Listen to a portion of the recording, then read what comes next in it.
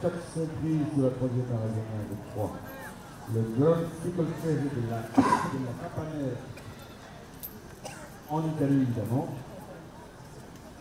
Et c'est produit le premier produit l'année avec Prime. On va peut-être pouvoir faire marcher parce que sinon, il sera un peu là.